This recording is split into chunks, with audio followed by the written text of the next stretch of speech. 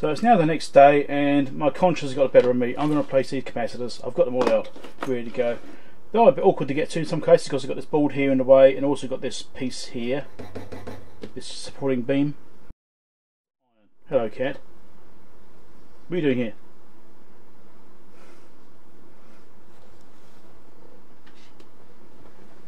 So it might be a bit hard to get around these parts. I might use soldering iron only and then try and clear them out from the top side or something, I'm not quite sure. I'm just looking at these, just trying to see what I need to actually get to. So there's some over here, vertical side.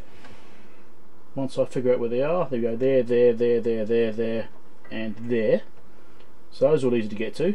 We'll do those ones first. Now I'm going to try it without putting fresh solder on first. We'll see how we go. Actually I need to get my little extractor going. So it's going to get a bit noisier.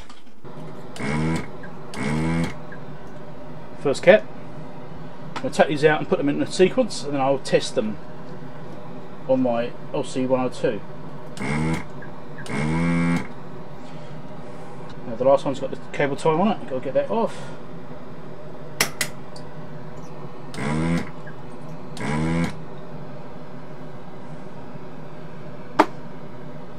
Let's put the new ones in.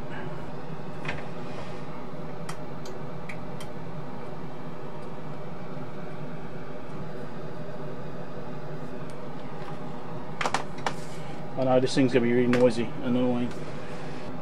I'll try and fold this over so you can see the markings. That's the plan anyway. Anyway, you get the idea. It's lots of that. I'm going to come over this side. Now what I've just done is I've taken out three of the screws that hold this subboard in. It's got relays on here. And just spun it out of the way so I can access this section. Obviously I'm trying to avoid touching any circuitry. Just touch of the board. So this be his power supply, it's not so critical. I'm soldering the last three legs in now, or four or five legs, whatever the hell it is. The last few caps. I don't know if I can actually even show you on camera, but uh, I had to take the, the middle capacitor off from the top and clear the holes out from the top and then push it through from this side. So, not too unexpected though. I'm using quite a lot of heat here to try and get the heat through the board. Hoping I can avoid soldering on the top side. That's the intention. We'll see how we go. The ground plane on this board is quite severe. I've having battled that quite a bit. So I was checking to see if the solder's flowed through and it has in some cases but not all cases. So I was going to touch up this side as well which I didn't really want to do but it's going to be necessary.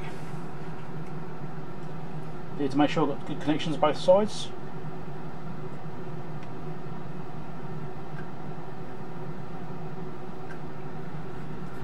One.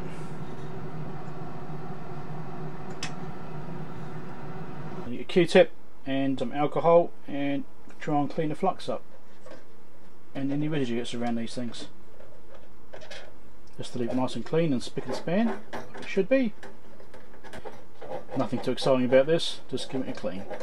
I have to do the other caps on the other side as well yet, but uh, I'm not going to record the whole thing. Just wiping some new Q-tip, isn't it? It's not exciting. Anyway. Just gives you an idea what I'm doing. So I just refitted that cable tie, cleaned up all the pads. I think I can put the cover back on again now. And the only thing I've still got to do is take the EEPROM out and make a copy of it. Well, let's check for any magic smoke, see if I can put any caps in backwards. I shouldn't joke, it's happened. Alright. Current draw.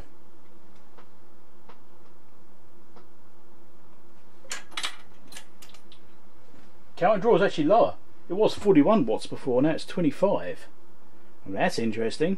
Oh, mind you, 41 watts might have been with that shorted tantalum I had before. I don't remember, actually. It might have been when it shorted with that tantalum.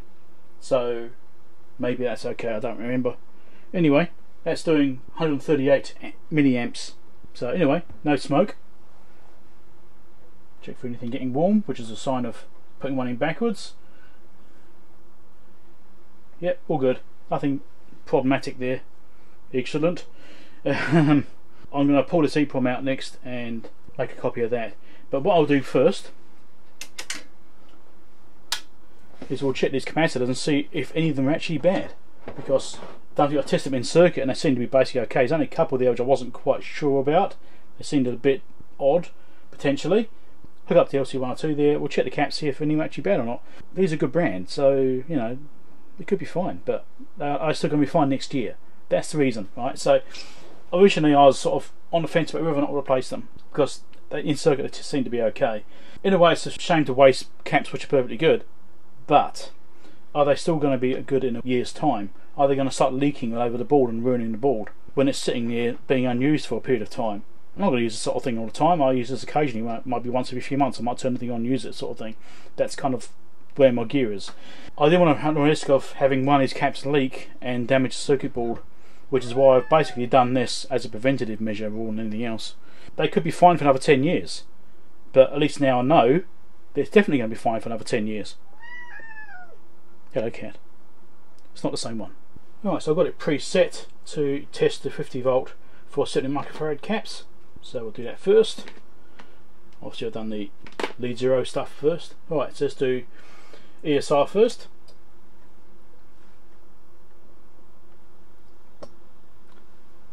So 0.11 ohms is going down to.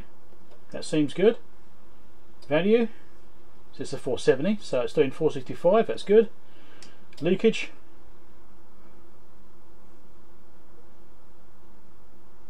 Yep, that's dropping down. It did start off a bit higher than I thought it would do. Right, let's give that a minute and just uh, try that again in a second. Let's adjust the camera. Right, let's do this again.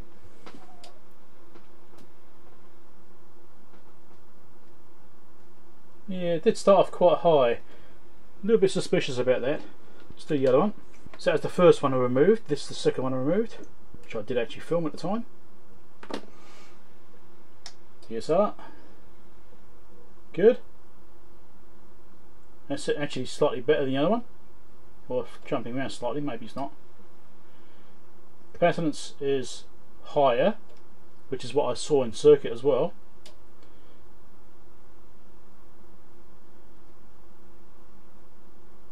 Interesting. Leakage. Look at that. Can't measure it. That's a bad cap. That cap is bad. Let's try the next one, which is a 2225 volt.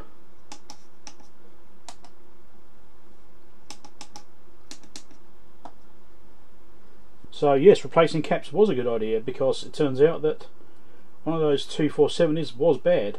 One of the ones I was suspicious about, I'm expecting. Okay, let's do that. It's 25 volts. Yeah, all good. ESR. 0.1, looks alright. Value looks pretty good, slightly high. Leakage.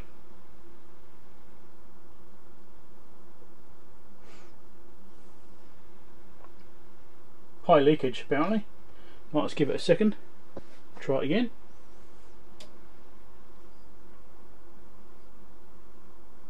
It's quite high leakage. It's taken a while to get there. Yeah, so that cap is also bad. Before I go to the next one, I'm going to go to the 50 volts because it's a 35 volt one, so it's the same value. You see. Let's do this one.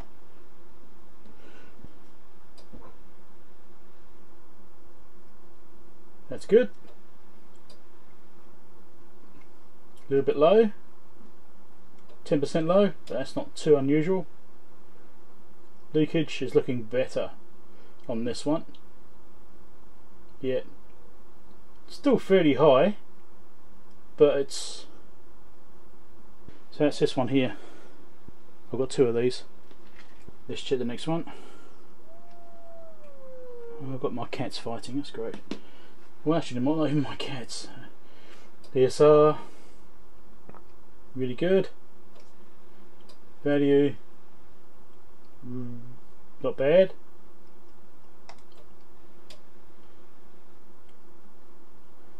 Leakage fairly high. Still thinks it's good though.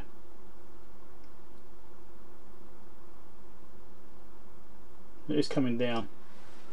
Do it again.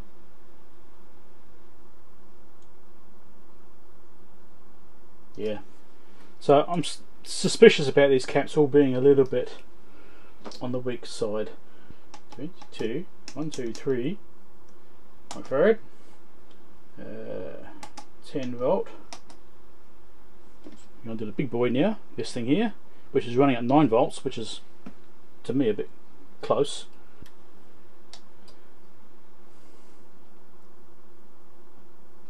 Really?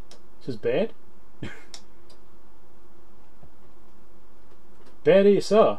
Really? Hmm, okay. Surprised by that. I thought be a bit more tolerant in ESR for that level. Value slightly low, 10% low. Leakage. This could take a while because it's a big cap. Leakage is okay. So it's suspicious about the ESR, which is interesting. Got 220 microfarad at 16 volt. Right, there's this little one here.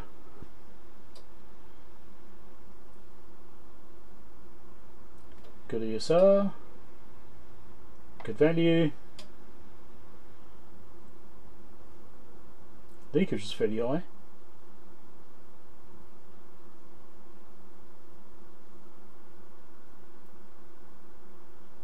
Yeah, says it's bad. So yeah, just like my decision to replace these caps was a good one.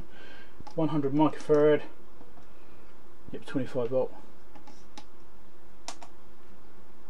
That's these ones.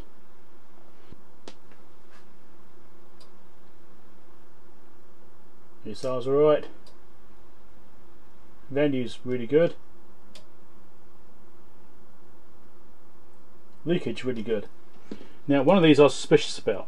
Not necessarily both of them, but one of them I thought was a bit interesting. It just wasn't quite behaving the same as the other one. There was a difference between them. But it could have been the circuitry that was around it, so I'm not quite sure yet. So we'll find out. See if there's a difference. ESR is good. Value's good.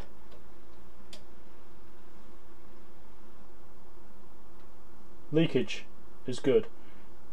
So, although this one's got slightly lower leakage than the other one has. Okay, so we did find a few caps which were a bit dodgy. So that's good. It wasn't a waste of time replacing those caps. They were needed. That's always a win. Anyway, that's that. Right, it's time to copy this EEPROM. So, I've got my extractor tool here. There we go. Put it in the programmer and read it. Right, I've refitted the EEPROM, final test, make sure it still works. Great. Brilliant. All good. Happy with that. It's going. So there you go. All working.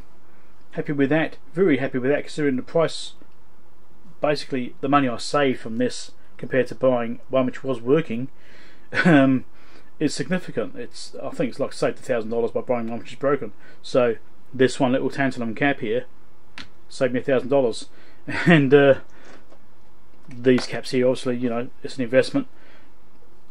Although it was working okay as we saw, and it seemed to test okay in circuit, the LC102 wasn't so happy with some of these caps. So good job we changed those as well. So this goes to show that even though you do it in circuit testing, you can't really 100% rely on it until you take them out and measure them properly with a proper capacitor tester. Because doing ESR measurements and capacity measurements in circuit only tell you part of the story. Leakage is part of that too. So this one here, although the ESR was very low on this, it's only like it's at 0.06 or something, the LC102 said it's bad cap. That was a longer video than I thought it was going to be, considering it didn't take me very long at all to find that cap and fix that. But I've backed up the EEPROM that's now copied. That's going to be available on the KO4BB website once I put it up there, and also add it to the thread on the EEVblog Forum, which is for this unit, which has been started by branadic about his one, which prompted me to buy one as well. it's his fault I bought one. Branadek already posted EEPROM data there, but he's got a CPR version, so he's put a CPR EEPROM data up there. I'm going to put up the non-CPR EEPROM data. So actually, I think there's only two versions. That's it. So I think we're completely covered on EEPROM data, which is brilliant. Other videos to watch down below there. Subscribe over here if not subscribed, and there's a Patreon support link over there to help me buy a bits of test gear like this to do repair videos about. Catch you later.